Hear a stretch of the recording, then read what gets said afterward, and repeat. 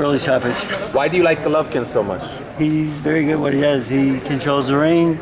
He um, he puts himself in great positions about 95% of the time.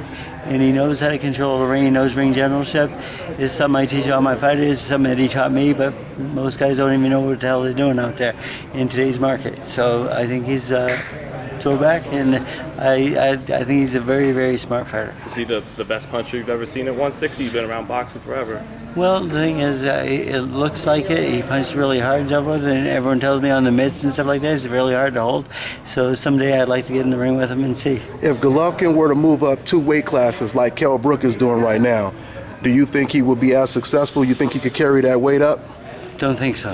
Um, it's a lot of weight, and um, but you know, anything's possible. And he is a t- he's a tough guy. I mean, he can punch, and uh, he's got a good chin. So um, it makes it a very interesting fight. And you said you wanted to see him against Andre Ward, uh, Andre Ward, a, a couple uh, about a week ago, right?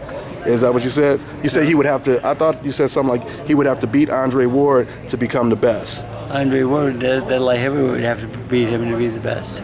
Uh, You said the, what did you say? The light heavyweight, not Oh, Not or Golovkin. I, I thought you said something like that about, a week ago.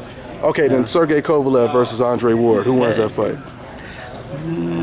Ward has one more fight before that happens, and uh, Alexander Brand, yeah. Um, and Ko- Kovalev didn't look that great in his last fight. Mm, It's a toss-up. Okay, and let me just go right back real quick. When you, you talked about Manny You got me Pacquiao, mixed up in those names, and you got me in trouble too. Because you, you had me saying Triple G's not a good fighter, and he's the best fighter in the world, as I said. how do I have you saying that? Because no, no, because Triple G and Golovkin and I get them mixed up. Okay, no, because I, I read an article where where you said I made a video about it. You said that Golovkin would have to beat uh, Andre Ward to be the best. So I, that's why I just wanted to ask you about Yeah, that. I didn't mean it was. I meant You mean what you meant Kovalev or what? Yes, I meant Kovalev. So the, the names are too close.